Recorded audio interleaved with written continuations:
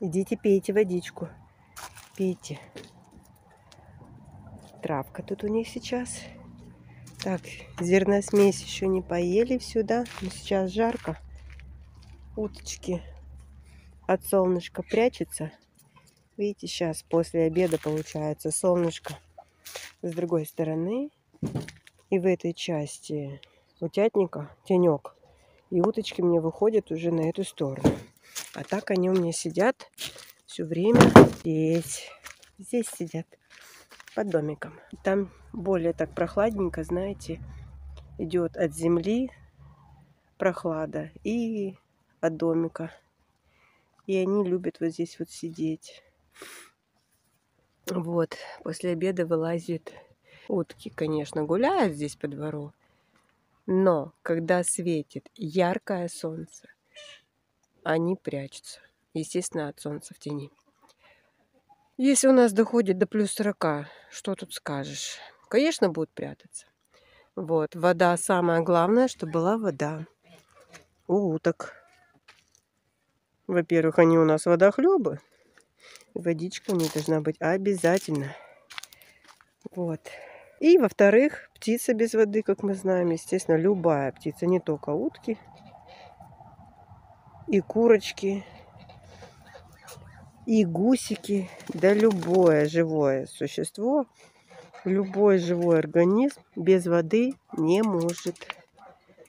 Поэтому обязательно должна быть вода, обязательно. Иначе погибнет. Погибнет все живое без воды. Вот, друзья мои, у меня здесь в утятнике 5 уточек и один селезень. Посмотрите, какой селезень у меня красивый, да, красавец. Пять уточек на одного селезня у меня в данный момент. И это самое, я считаю, нормальное, идеальное, можно так сказать, количество, да, уток на одного селезня. Для того, чтобы был оплод яиц у нас хорошим. Но я не знаю, как у меня будет, конечно. Проверим. Потому что до этого у меня, друзья, было больше уток. Было 8 уток и 2 селезня. Вот. И так как у меня оплод был плохой, 50% только был оплод. Я показывала вам, что каждый раз при авоскопировании половина яиц я просто вытаскивала, вытаскивала. Они были не оплодотворены. И пришлось, естественно, мне одного селезня убрать. Ну, он был, в принципе, отстающий в развитии, но вырос большим, вы знаете, большим селезнем вырос. Вот, одного селезня убрала и двух уток убрала, а одну уточку продала. Продала вместе с утятами, друзья был покупатель, да, я ему всех уточек своих маленьких, 38 штучек было у меня их, последних, вот, из последних. И вместе с уткой мамой, которая водила этих утяток, я их и продала. В результате у меня 5 уточек на одного селезня. И проверим, друзья, какой же будет оплот у нас, да? Сможет ли мой селезень всех уточек ублажить. Проверим. Вот, друзья, вы спрашиваете, где же моя уточка с двумя утятами, которые вылупились последними под последней уточкой. Вот эту уточку я вам сейчас покажу. Она у меня, кстати, по-моему, вот, вот она. Да? Ты или не ты? А ну сейчас посмотрим, пошевелись. У нее более такая грудка белее всех. Из этих пяти уточек, да, коричневых. У меня четыре, в принципе, коричневые, одна вот темненькая. Вот, у нее грудка белая. Вот, вот она. А ну повернись. Повернись. Ладно, отойду в сторонку, а то боятся меня. Итак, друзья, вот эта уточка, у которой более такая белая грудка, повторюсь, она мне вывела последние два утеночка. И я вам показывала, друзья, это ихнее воссоединение Уточка поводила этих двух утяток, но недолго. Нету этих двух утяток. Утка есть, естественно, здесь в утятнике, а утяток нету. Можно сказать, я их, друзья мои, проморгала. По моей вине они пропали. Одного утенка, опять же, друзья мои, сожрала утка моя, которая тут сидит. Это утка, вот она, вот это. У нее на шее больше коричневых пятен. Она жрет утят. Я уже два раза видела. И вот этот второй раз я видела, как она съела мне этого утенка. А второй утенок пропал. Ну, скорее всего, опять же, кто-то сожрал. Но уже не утки, а не знаю, или чужой кот, или же, ну, я так понимаю, если бы он где-то потерялся, да, у меня бегал по огороду, он бы пищал. Утята маленькие, они пищат. Когда один потеряется, даже двое, они когда ходят, они пищат, утятки. То есть я бы его услышала. А дело было как? Первый день я вам показывала, да, друзья, э, как уточка гуляла с утятами. Они ночевали в домике, у меня все хорошо. На второй день я выпустила их. И со старшими утятами они мне гуляли, все нормально. И, естественно, я не буду же возле них только находиться. Занималась своими делами. И думаю, Пойду посмотрю, как там моя уточка. Прихожу, смотрю, утка возле утятника находится, да, но зайти в утятник она же не может. Одна. А где утята? Не поняла, где утята. Смотрю, одного утенка, естественно, вот эта уточка, которая сейчас купается, она мне его уже наполовину, можно так сказать, понимаете, истязала, то есть уже кушала. Утка, представляете, кушает утят.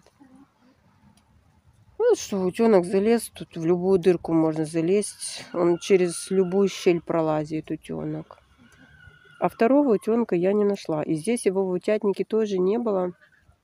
То есть он сюда не залез. Если бы он залез, я бы увидела его. А утка бы не успела просто. Она его долго кушает. Быстро она его съесть не может. Селезень утят не трогает. Это я уже знаю сто процентов. Сколько раз я видела, как э, утята да, попадают, допустим, сюда случайно. Селезень их не трогает. Теперь я знаю, кто мне жрет. Тут постоянно утят. И кто мне трогает вообще яйца, да? И вытаскивает зародыши с яиц. Это вот эта утка, которая мне купается сейчас, друзья мои. Вот это она мне это делает. Была мысля у меня убрать эту утку на мясо. Но пока не трогаю. Она мне несет яйца. Было очень большое желание убрать. Вот не знаю, что с ней делать. И повторюсь, уже говорила ранее в своих видео, да, а вдруг все утки жрут утят. И что теперь делать? Всех убирать? Ну вот, двоих утят нету. И второго утенка, я не знаю, куда он делся, друзья. Думала, может быть, к соседям перебрался через сетку. Да нет, и там я не видела его. Э, здесь в утятник не мог второй попасть, потому что я не видела э, никаких последствий этого в курятнике, у цыплят. Я нигде не видела этого второго утенка. Значит, делаю вывод, что это утащил кот.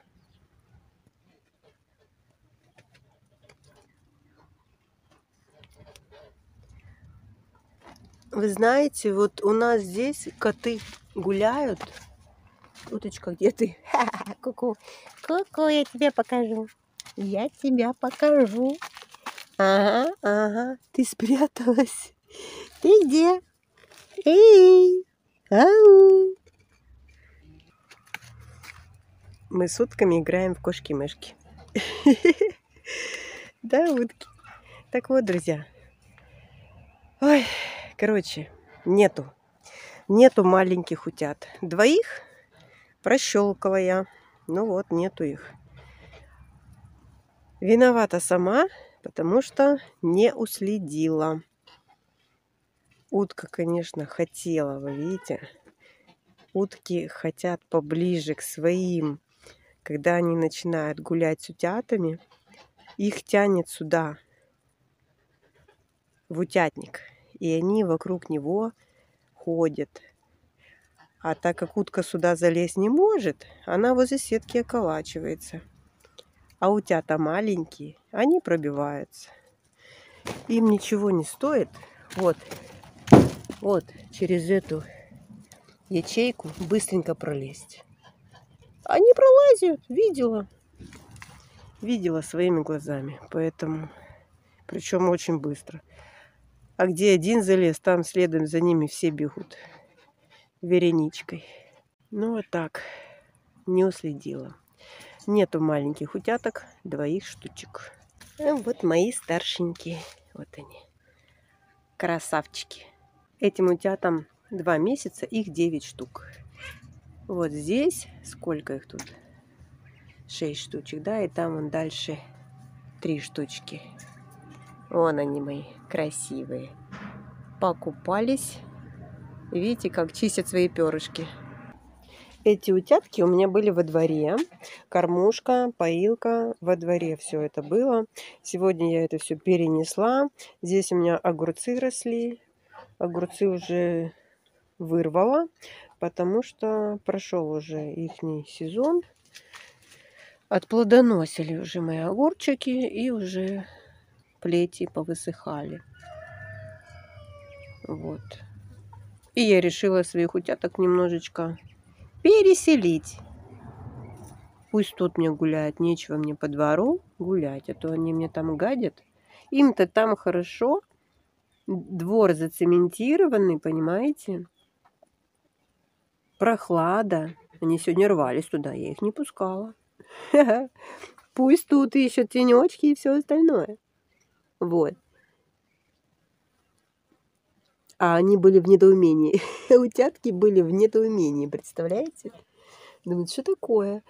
Что случилось с нашей хозяйкой? Что она нас не пускает во двор? Мы уже настолько привыкли, да?